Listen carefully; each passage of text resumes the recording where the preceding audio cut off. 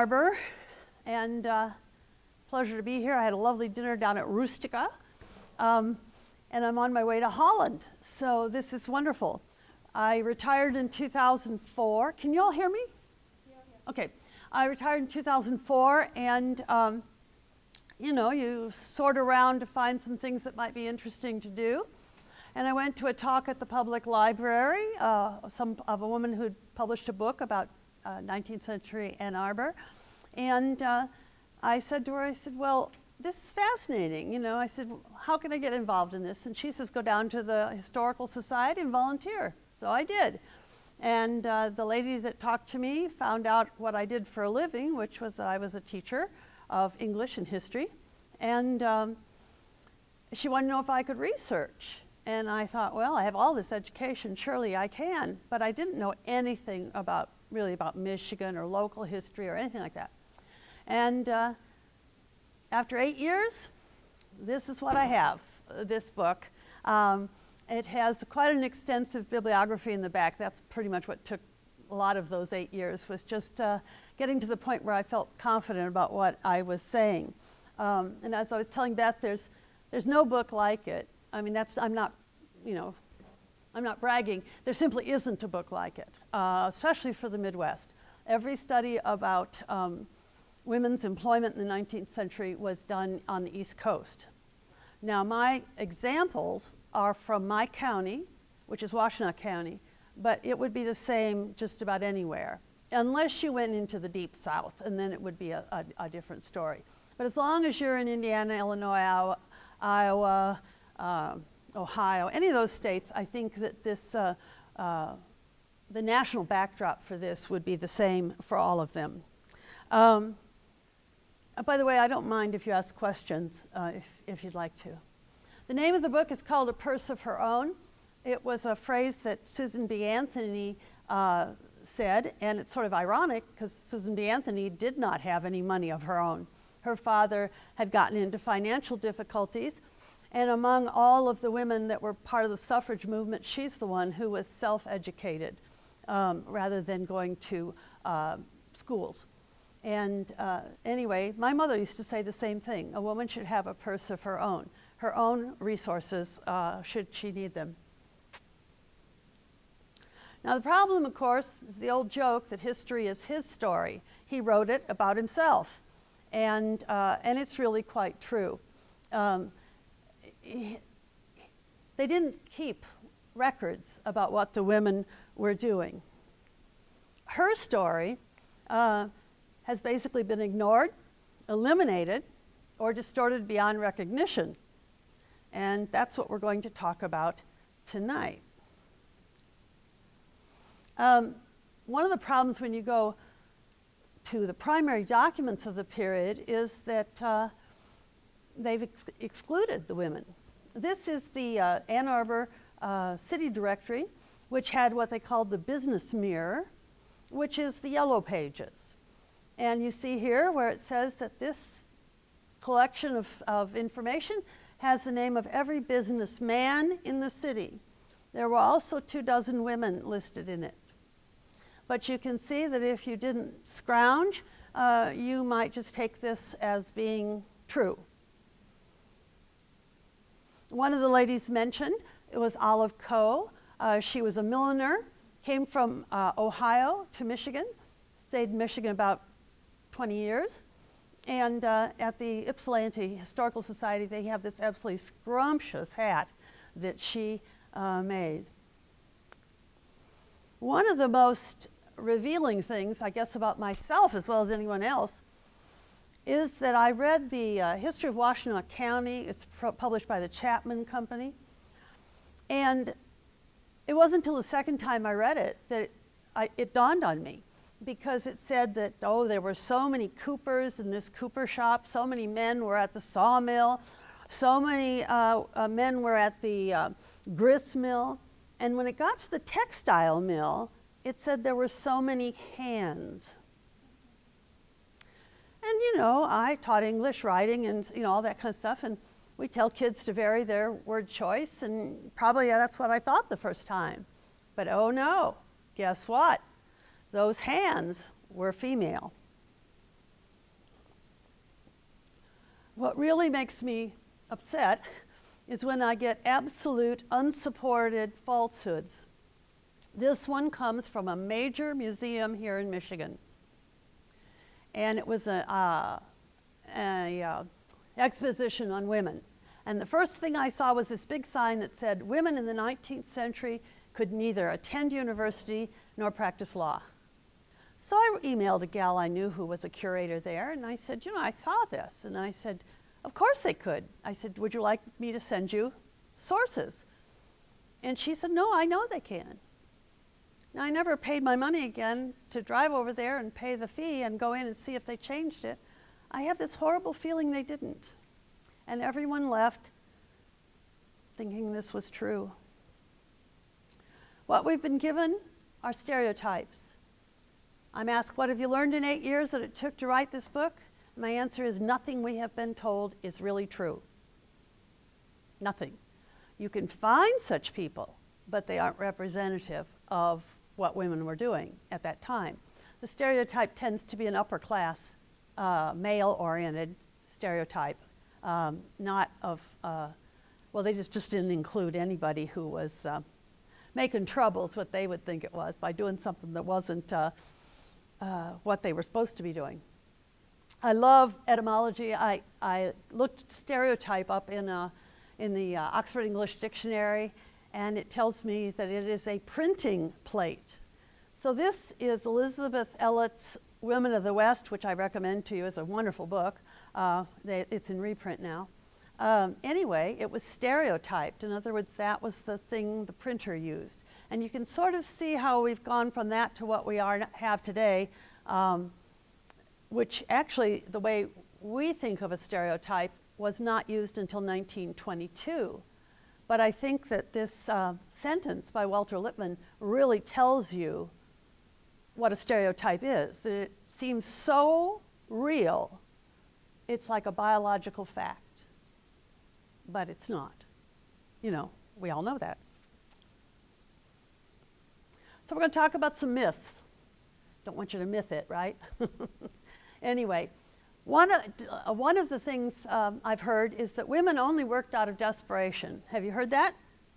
I think that's a pretty common myth. No one is more desperate than an ex slave. Mary Roper and her husband Ben uh, were born into slavery, came north uh, after the Civil War, and uh, they opened up uh, a barber shop. A lot of barbers were black, the vast majority were African American. Anyway, uh, she lived 38 years longer than her husband, and um, this is the stone she bought for her husband, and there's two little ones on the left are for their children who, who did not survive beyond babyhood. And uh, um, she worked because she needed the money, no question about it. And the, real, the really sad part about Mary Roper is that her name is not on this tombstone someday I'm going to go to Dexter, Michigan, and I'm going to pay for her name to be put on this tombstone because when she died, there was no one left to do it for her. However, saying that, that some, a lot of women worked out of need, a lot didn't. That's the part that's gotten left out. Helen McAndrew uh, came from Baltimore to Ypsilanti, Michigan, and she uh, went to medical school in the 1850s when regular university medical schools would not take a woman. And so a lot of women went to the alternative medical uh, schools, and she did that. And she paid her way through school uh, by doing bookbinding, which was another popular uh, occupation for women. Um, and then she came back to Ypsilanti and to, to practice medicine. And nobody but the African Americans and the women would come to her uh, until one of the bigwigs in town, his wife, was, had been ill. He'd brought doctors from Ann Arbor, he'd brought doctors from Detroit. Nobody knew what to do with his wife. And the gardener said, why don't you call Dr. McAndrew? You know, she's had, she's pretty good doctor. So he did, and within a week, uh, Dr. McAndrew had the wife up and walking around. So um, her, her uh, reputation was made. Uh, her son, though, uh, when, when uh, later in her life, he, people said, well, what, how'd you feel when your mother left you as a toddler to go off to school and learn to be a doctor? And he says, My mother had a gift. He says, Anybody can cook and clean. Myth two. If a woman worked, they did only menial or traditionally female jobs. Answer a lot of them did, no question about it. They worked in canning factories, uh, they were milliners. Uh, Phoebe and Catherine Hook are a mother and a daughter uh, that were in the millinery business for more than 50 years. They taught rural schools. Bless them for doing it because they turned out, uh, you know, functionally literate country. And later in the century, they were uh, telephone operators. Men were telephone operators at first, but they didn't take to it very well. And so they switched to women. Uh, this girl, Maggie Sharp, uh, she was from Ypsilanti and then Ann Arbor. Uh, she was also a telegraph um, person. I can't say telegraph man, can I? And uh, of course, one of the first uh, things that a housewife would jettison, if she could, was laundry. Send it out, let someone else do it. Bring them in and let them do it here, but get it out of my uh, list of things I have to do. And uh, so you can see from this that uh, there were quite a few women in that as we started to get big steam laundries. And there were women who owned laundries too. I have found women who were black, a blacksmith, a brickmaker, taxidermist, house painter, a barn cleaner. Not just once in a while. This is what they did to, uh, to pay the bills. This, well, we've heard this, boy. Well, they only worked until they got married because everybody wanted to be married, right? It's absolutely true. Susan Speechley, uh, until she married, uh, was a photographer. How many photographers do you think there were in the United States? Women, professional photographers, say about 1880. Any guesses? Oh, come on. They're just recording this. 25. You're going to have to go higher than that.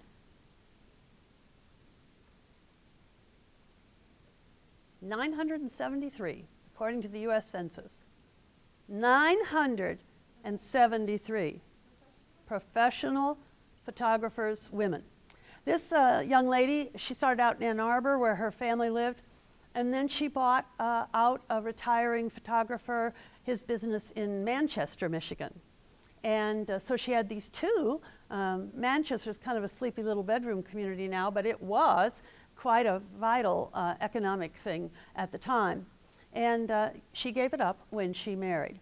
So that's true. But what nobody tells you is that the last three decades of the 19th century had the greatest number of unmarried women in the entire history of the United States. one woman's journal that I read, she said, oh, she had eight proposals. She says, but no one was really quite good enough for me. so she never did get married. Um, yes? Absolutely. We managed to kill 700,000 or more in the Civil War. That cut down the population quite a bit. But I think the bigger problem was a lot of them were going west, and they were going west alone. One of the big differences between Michigan history and our conception of the West is that Michigan was settled by families and not the idea that you went out as a cowboy or a, you know, a fur trapper or something and then you brought women in. Uh, that was definitely more like Colorado and that, that uh, you know, the Rockies and that sort of area. I uh, had the best fun with this Elmira F. Lovell. Um, uh, she was in the, the uh, business mirror. I found her right away, but I didn't know anything about her. So I started learning how to do genealogy, and I found out that uh, on Amazon, on uh, what is it called? Ancestry.com, that her father was a judge in Flint.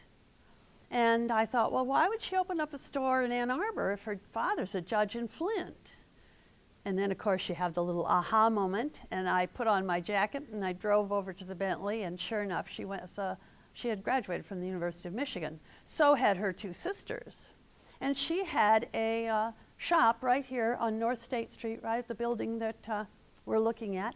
And um, uh, she innovated by selling, well, she had a tea house, she had a, a dry cleaners, I mean, she had a bunch of little businesses, but the thing that really makes her stand out is that she started doing collegiate souvenirs, calendars, pennants, mugs with U of M on it.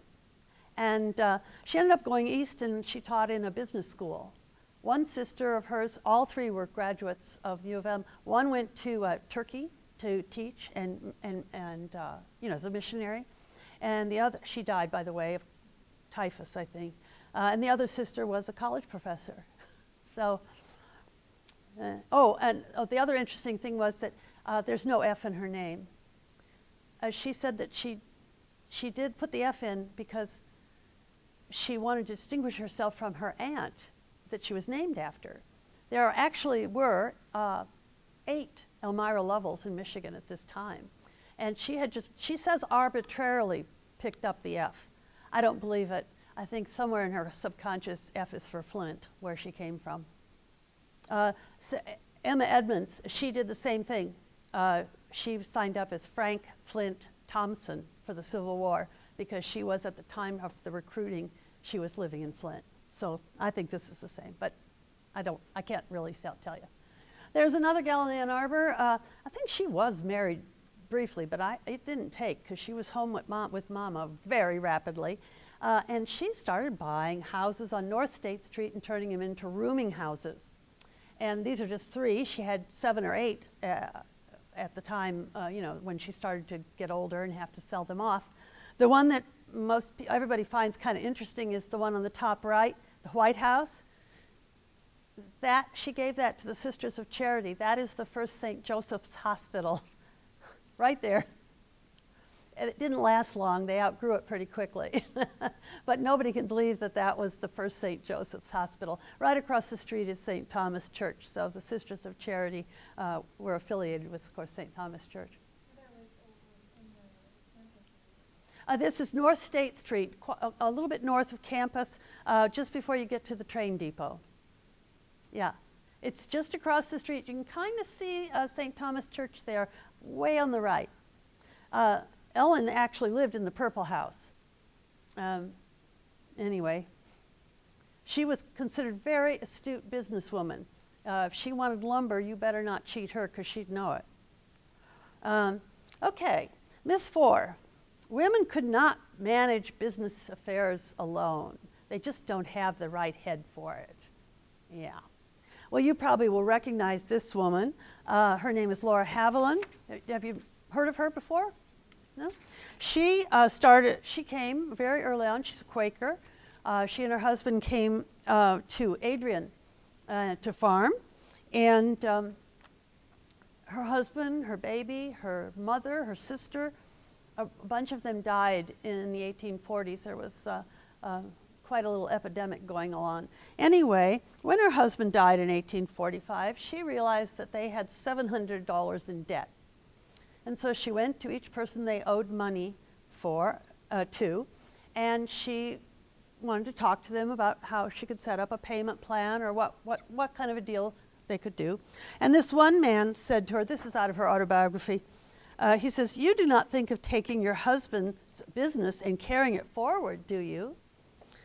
She said, I thought of trying to do the best I could. Oh, you're very much mistaken, Mrs. Haviland. You can do no such thing.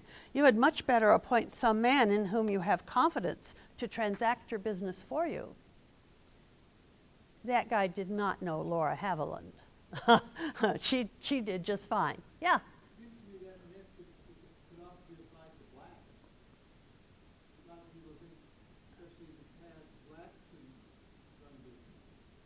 Oh yeah, any kind of prejudice. I mean, we can we can have anyone who's prejudiced against other people. Yeah, it would work the same.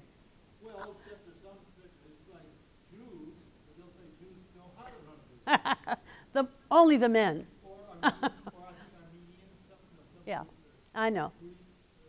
Yeah, that's just that's just bigotry. Anyway, if you want a really good read, uh, and you get this one um, in uh, you know reprint her autobiography, The Story of My Life, it's called, and it is amazing. The part about what she did in the Civil War will just keep you up reading, honestly. It's, it's wonderful. This is a block of buildings in, uh, down at the foreground of that picture uh, in Ann Arbor, and it's called the Hoban Block. And uh, just about everybody in Ann Arbor thinks that Mr. Hoban built that block. Well, no, no, no. Mr. Hoban was a farmer. And uh, when he uh, died, well, he came in the last part of his life into Ann Arbor. A lot of people gave up farms, you know, when they got to be uh, elderly. Anyway, but it was his wife, after he died, his widow, who built this block of offices and stores and things, and then she rented them for an income. She was a, a landlord. 20%, one fifth of the population of Ann Arbor were women in the top uh, tax bracket. No, I, I misspoke. One fifth of the people in the top tax bracket were women. Um, and this woman was even wealthier than the previous one. Um, her name's Olivia Hall, obviously. And when her husband died, and he had been in real estate, so she, I'm sure she learned a lot from him. Uh, she bought up some land and she had it platted. Uh, you can still go into the records and see this plat. She actually did it twice, but this is the first one. And she built a subdivision. And the thing that made her subdivision different and why it's still highly coveted is that she insisted that all houses be 60 feet back from the street. Before that time, most of the houses come right up to the sidewalk. And it gives it a very elegant kind of feel. This is Burns Park in Ann Arbor, and it's still, uh, people pay a lot to live in Burns Park, even though the houses are small by modern standards. Uh, it's also very close to the university, but uh, it's a very coveted uh, neighborhood. Oh, and this is the woman, this woman uh, gave uh, Susan B. Anthony land. Knowing that Susan B. Anthony had no money, she gave her some land that she could sell and have some money of her own. Because, ironically, she didn't have a purse of her own. All right, myth number five. I, I bet you've heard of this one. Once a woman marries, she didn't work. You've heard that? No? Yeah? Um, it's amazing to me how many women started out teaching and gave it up rather rapidly. Um, if you went to Michigan State Normal School, you had to promise to teach in the state of Michigan for two years. And uh, there's just tons of women in my book that went to the normal school, did their two years, and then found something else to do with their lives. anyway, one was Elvira Clark. She lived in Chelsea, Michigan.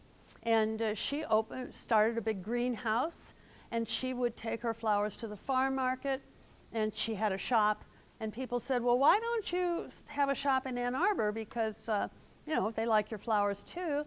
And that is where the Chelsea Flower Shop came from. It's right there on Liberty Street. Uh, everyone goes downtown, sees it, but they don't know why it's called the Chelsea Flower Shop. Uh, she eventually got married to Mr. Wiesel, and uh, that didn't interfere at all with her uh, her flowers and her shops. She just kept on doing it. In fact, the woman I interviewed at, when I went in one day had worked there since the, the woman I talked to was about 14. And when she started, Mrs. Wiesel was running the shop. Still. Now, as we said, a lot of barbers were African American. This happens to be a Caucasian lady. I don't think she was in this field until she married. I couldn't I, I didn't find anything that would indicate that. So after she married Mr. Trojanowski, uh, he had the barber shop on the first floor, and she set up a women's bathing salon on the second floor because taking a bath was a huge deal in those days. So uh, uh, it was much easier just to come and pay your money and let somebody else haul all the water, etc. She moved, oh, three or four times. So did so did her husband, but they didn't always stick together like that. Uh, so she was in business 30 years at least, and by the time she retired, uh, they were doing pedicures and all kinds of things that we would recognize today. She didn't stay in the bathing uh, business very long. Now, I think this is the most egregious error that we've had. Wives were not involved in their husband's business.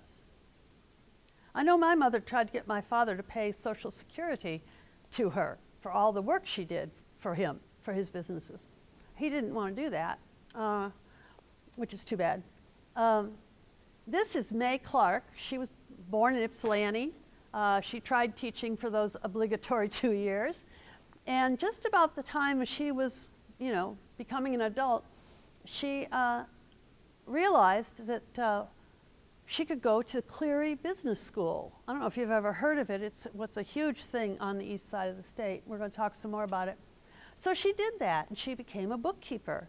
Because after the Civil War, when office work was really coming into its own, it was women who did the office work, not the men, and it was a very coveted uh, line of work. It was uh, white collar, middle class uh, kind of a job, and it was far less demanding than teaching school. Well, the wonderful thing about May Clark is that she got a job uh, as the bookkeeper for a guy that came from uh, Ontario. His name was Jefferson Gibson. And she started out as his bookkeeper, then she became his assistant, then she became his wife, and then she became his partner. And they are the only married couple I found that advertised as a couple. And uh, she set up another uh, salon in Ypsilanti, but it didn't last because he was hired as the official photographer for the 1893 Chicago World's Fair. So they moved to Chicago. And uh, he's innovated photography studios in department stores. Department stores were just coming about in the 1890s, early 20th century. And he started these, just like you see at Sears or, you know, Olan Mills has all these now. And uh, when he died, she, she took care of the business for another decade or so, and then she sold it. Um, very interesting story uh, for that couple. I, I love this couple too. They were the first shoemakers in Ann Arbor. Uh, both were German immigrants. He apprenticed in New York. She was a domestic servant. They said when they had $100 apiece, they would marry and uh, come west. And so they did. They arrived in Ann Arbor in the early 30s, 1830s. And uh, again, he got all the credit, but she was doing, uh, he did the, the lower part of the shoe, which is a harder thing to sew, and she did the uppers. And they made enough money that they bought this farm, which their uh, son inherited. And it, it, there's still a road named April. There's still, I worked with a man who was name was, he was a descendant of this couple. Of course, I didn't know it at the time we worked together, but uh, they're quite, they're all over the place over in Washtenaw County. Um, oh, this is one of my favorite. Have you ever been to Ann Arbor? Anybody? No? Oh, well. This is Zingerman's. Zingerman's is, has a national reputation, and they started their, um, they own many businesses now, but this is the original Zingerman's. It's on a corner uh, near Kerrytown, and uh, this building was built by the Disderide family. They were immigrants. They ran a little neighborhood store. Mr. Disderide lived to be over 100, and when he was 100 years old, I think it was 1956 he turned 100, might have been 57. Anyway, he was interviewed, and uh, the reporter said, well, how do you, uh, to what do you, uh, you know, accredit your, your span of years? You know, how'd you manage to live so long? And he says, don't work very hard. Need I tell you who did all the work? Uh, his wife. Uh, she never learned English, but she was there at the break of dawn, and she was still in that store at 10 o'clock at night. And the daughters worked there too, uh, you know. Uh, so, um, they got no credit, though, for it. What's really interesting is the women who continued the businesses once the husband uh, passed away. And it wasn't always a husband, it could have been a father or, you know, whatever. Uh, this woman came from Ohio to Ypsilanti, Michigan um, with her husband uh, just after the Civil War. And they started, they were both teachers, but they started this uh, photographic studio. And uh, her husband uh, one chi- and one child died um, and she took over the photographic studio. Well, you just don't do that. You know, you had to be doing it with your husband all along. You can't just walk in one day and know how to do it. Uh, so it was tangible evidence that uh, she had been working with them all along. And then finally, I found a letter from her uh, to a book that was written, And uh, she talked about how we should have more uh, careers available for women than simply millinery and uh, school teaching. She's a good example of how these women juggled family and work. Um, there was a big storm in Ypsilanti, and the skylight in her studio was broken. And that same day, uh, her little toddler, who was home with, uh, you know, babysitter, uh, fell out of the second story and broke her collarbone. So uh, I had a lot of sympathy for as a working through raising my children that it's not always as easy as some people think it would be. Uh, Katie Rogers is the daughter of Moses Rogers in Ann Arbor, who sold agricultural implements. Um, she was an artist. She went and studied in Chicago, graduated first in her class at the Art Institute, and came back and was painting portraits and things when her father passed on, and she took over his business. I don't think it was what she wanted to do, and uh, but she did it long enough that, uh, you know, almost a decade, and then she sold it and went back uh, to painting uh, near the end of her life. Oh, I love this story. Uh, this is Rosa Brooker, and she and her sisters and brother and mother came uh, to Ypsilanti after the father died, and it was Mrs. Shade that paid for them to come. She was their aunt. And two of the, of the girls stayed with the, the Shades uh, in Ypsilanti. And uh, they really were, their name was Brooker, but they went by Shade, even though they weren't legally uh, adopted or anything like that. But uh, first, the uh, uncle died, and um, they had a big building that had a, a tavern and uh, a ballroom and their apartments and a store. This was pretty typical of the time, and it was called the Shade Block. They also had a pet bear, um, a big bear that they kept in the back, uh, but it died before the husband died. But anyway, and then, then the aunt died, and eventually this whole thing came down to Rosa Shade, who then married a man named Smith. And the year she died, the building was uh, razed. Uh, it was had been condemned in, late in her life. Um, oh, these people have kind of a nifty story too. Uh, Henrika Spathelf is one of the many, many German immigrants to Michigan, and she married a guy named Lodholz, and they started a, uh, a grocery store kind of thing. And they had one son. Well, her husband died rather young, like in his 40s. The, the son was quite young still. So uh, Henrika took over the store. When that son grew up, he married Mary Moses. She was from Lansing. I haven't quite figured out how they met yet. I mean, I, I, I can't seem to find that. Anyway, uh, he brought her to town and they had a son. And he died at about 40 when his son was in school and Mary took over the business. So it's like Mary's replicating her mother in law's life almost. And uh, uh, she also was interesting because she innovated uh, uh, technology into her store by the telephone. And she took orders by telephone and then had people deliver the things to people. Um, this is one of the, her business cards, which I thought was quite lovely. Yeah. Of course, I have all these in my book, you see, when you find out a lot more if you read the book. Um, interesting enough, sometimes it was the wife who died and the husband had to take over. And I have two good examples of when um, they just weren't able to do it.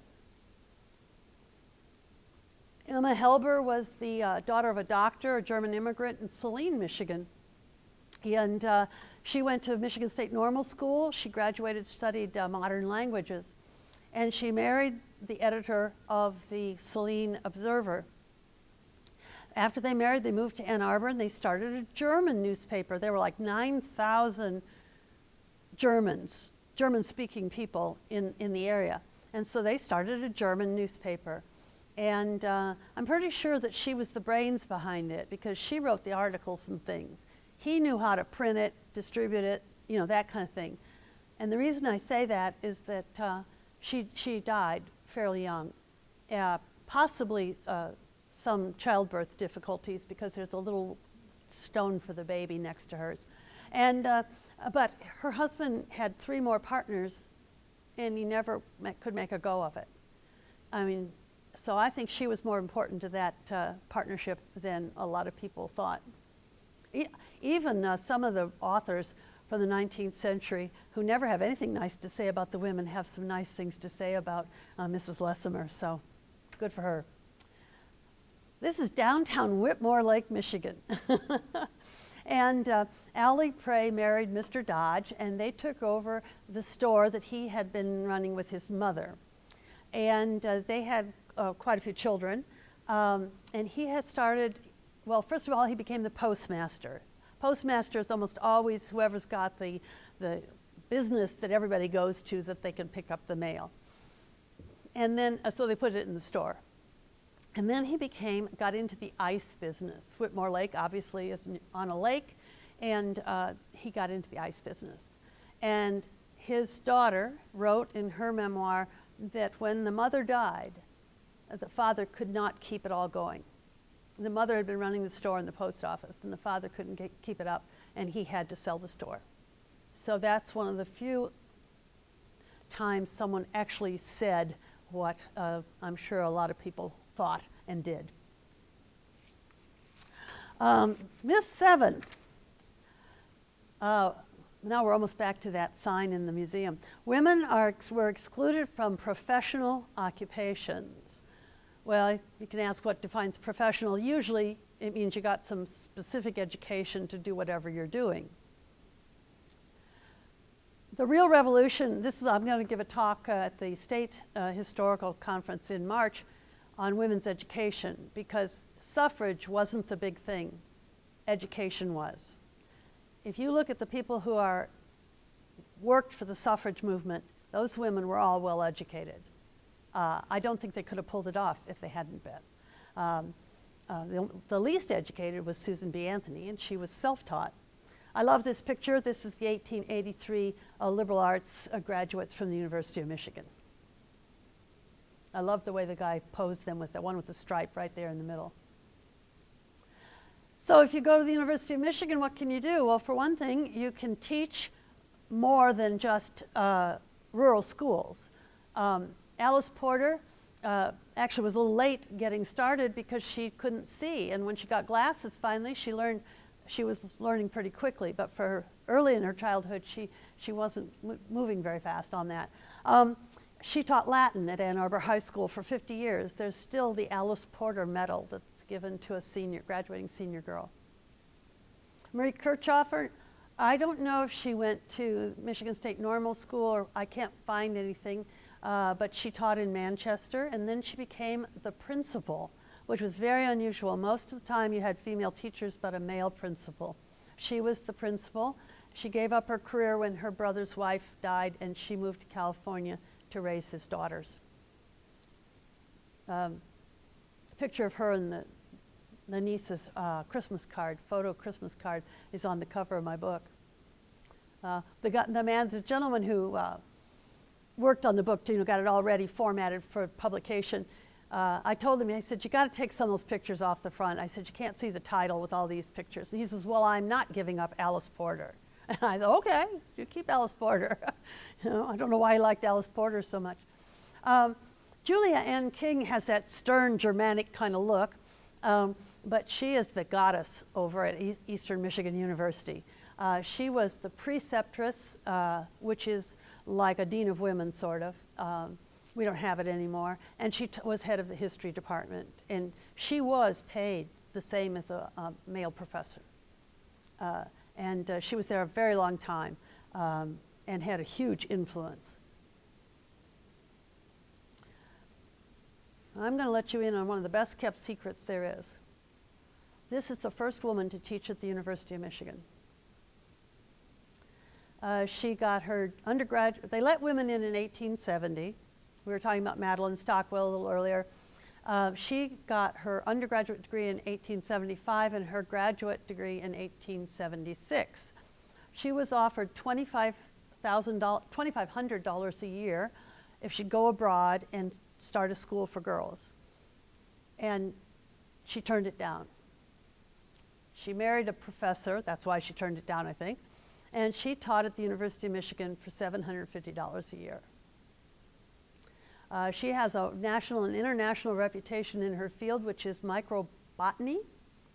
At the end of the 19th century, you know, natural uh, science was a very big deal. And uh, she, was she edited their, uh, their journal for her, her field. She was on several presidential appointments, uh, committees, and uh, she wrote 100 articles. Um, very, very uh, accomplished woman. And she's not mentioned anywhere unless you want to sit down and read the Regent's proceedings, which I can't say are very exciting reading. but that's where I found her. Um, I love Sophia Hartley. She looks like my maternal grandmother a bit. Uh, she was a German immigrant, came uh, first, I think, to Fort Wayne, Indiana, and then married a doctor in Albion. And uh, uh when he died, she was 42.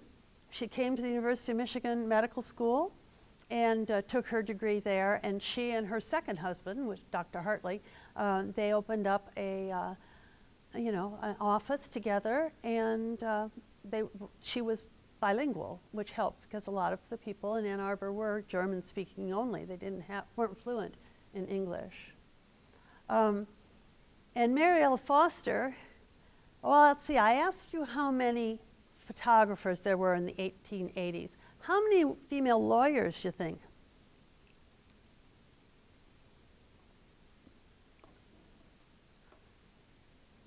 Come on, give me a guess. You haven't helped me. A thousand? Mm-mm.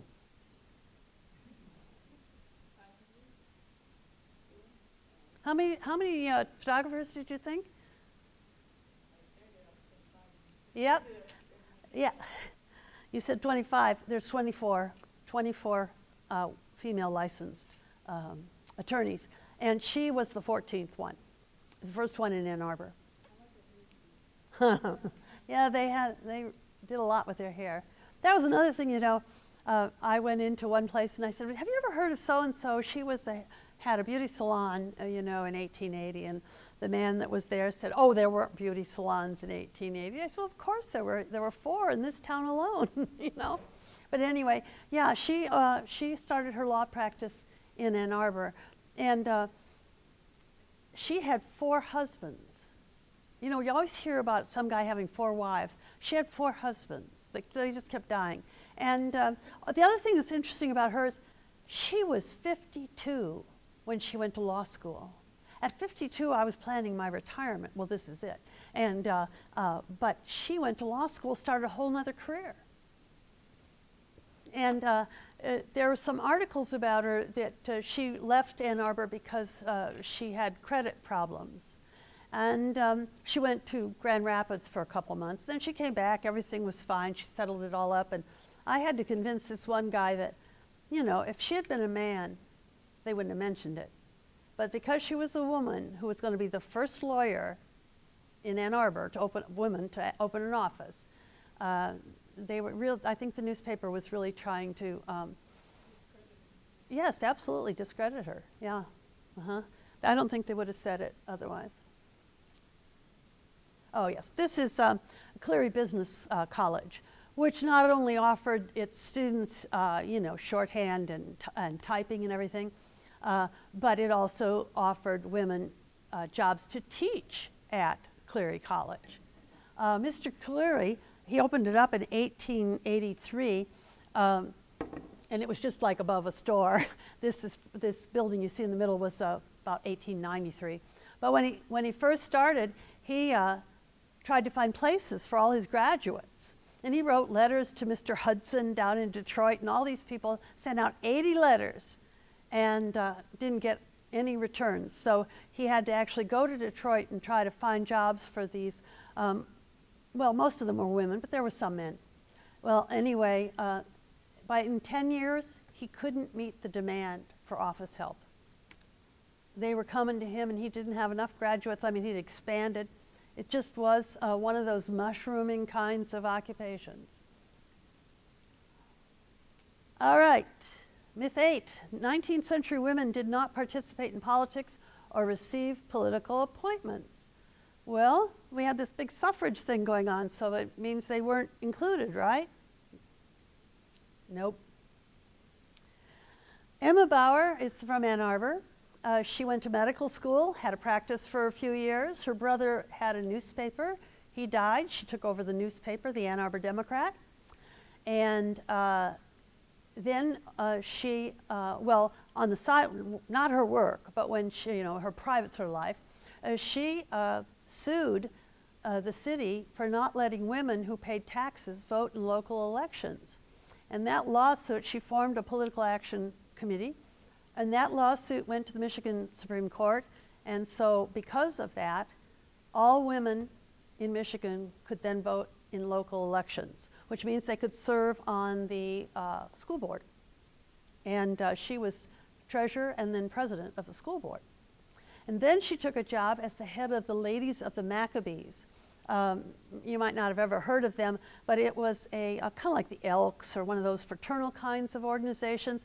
But primarily it was so they had insurance uh, that would give them money if, if husbands died. Uh, so it was kind of both of those things. Well, she had a staff of 40. She started out in Ann Arbor, then they went to Port Huron, then Detroit, and then when she retired, she came back uh, to Ann Arbor. There's a nurse who went around to everybody, and uh, she took care of her when she was sick once. And you know, you find these little tidbits in the strangest places. But in this nurse's, uh, wasn't her memoir; it was really the book she, journal she kept of her patients. I even know the name of her cat. You know, uh, because this woman said, you know, that I'd have tea with her and the cat would be there, you know, that kind of thing. The story of Frances Stewart is even, uh, I don't know, uh, maybe more representative. Um, she was one of those two-year teachers out of the Michigan Normal School. She came back and was a clerk in the Ypsilanti post office. And when the postmaster retired, um, 1,200 citizens of Ypsilanti signed a letter to their congressman, uh, their senator, that she should uh, get the job of postmaster. And that is the correct term. It's genderless. There's no such thing as a postmistress. Even if you read it, it's not a real term. Anyway, so she became the postmaster for Ypsilanti, Michigan.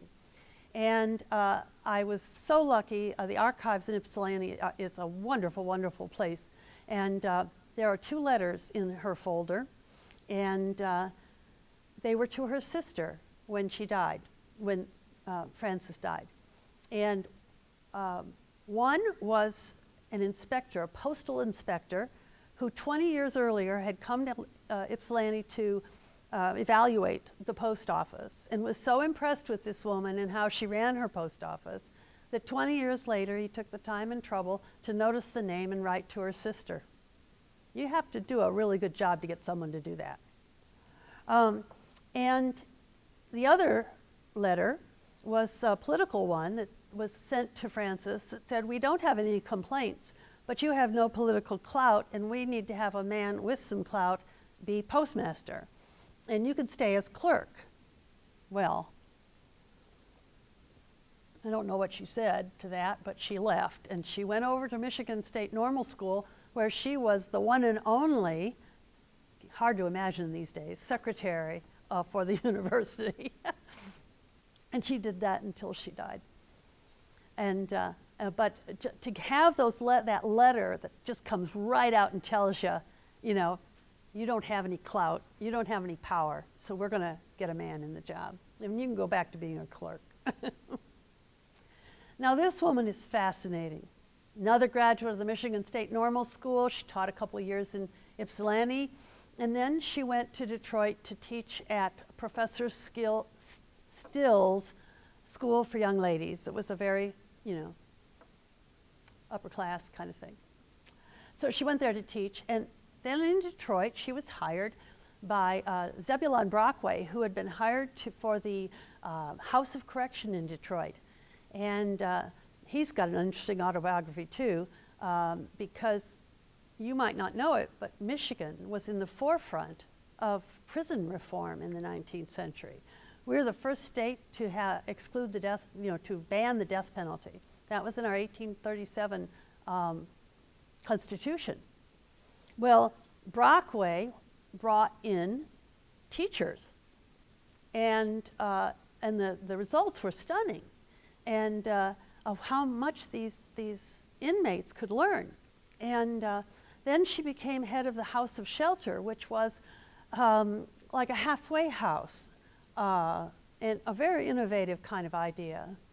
She was then uh, head of the uh, school in Coldwater, Michigan. She was head of the School for the Deaf and the Blind in Flint. And finally, uh, she was made uh, head of the brand new, just opened uh, Reformatory for Girls. So far, it's a stellar uh, resume. Brockway said, he says, be careful, be careful, they're going to come after you because she was an educator in the broadest kind of terms. Uh, the girls that came to her were sick. They couldn't. They needed glasses. Uh, they'd been living on the streets. They weren't criminals. They simply were unwanted girls, sort of.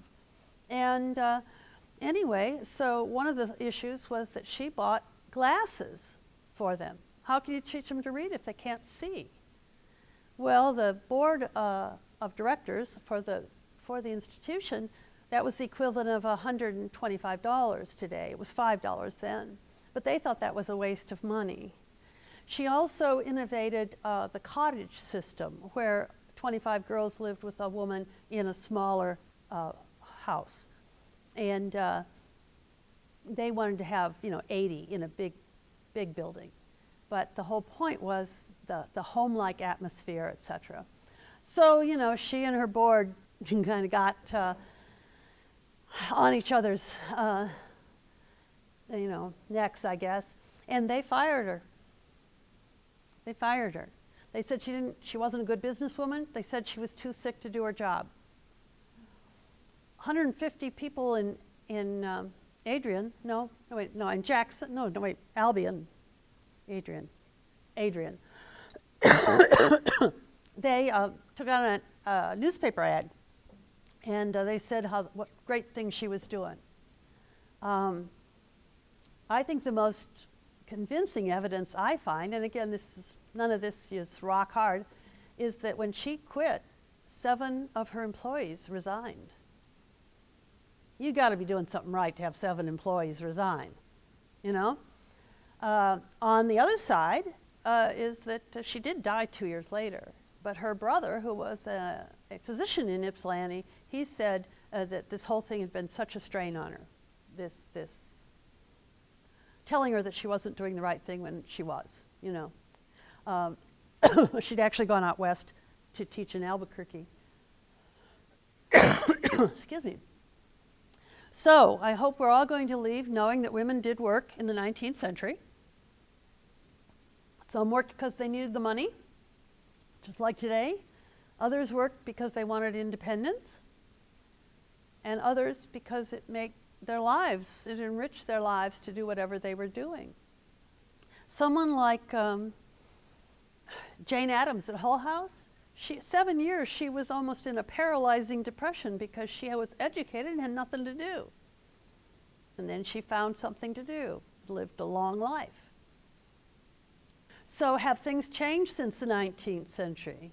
Well, yes and no. 2009 was the first year that more women were in the workforce than men. and 40% of the women in the workforce say that they are the primary breadwinner. They're not doing it just for pin money. They're, they're paying the bills. 62% of all college graduates are women. 60% of the master's degrees are earned by women, but only 49% of doctorates. Now that's kind of interesting It takes a lot of time to get a doctorate, you know? It does. My students used to ask me why I don't have one, and I said, oh, oh you know, just too much time. I six years probably. Half of the MBAs are earned by women, yet only 16% of CEOs are female. Only 17% of female attorneys are partners. As of 2009, women in the US earned 80 cents to every man's dollar. In Michigan, only 72 cents, making Michigan 44th out of 50. Yeah, in pay equity or the lack thereof. Younger women are receiving greater pay equity than older women. What group do you think is receiving the highest salaries here in Michigan? Women. They're younger, I'll give you that. Ethnic group.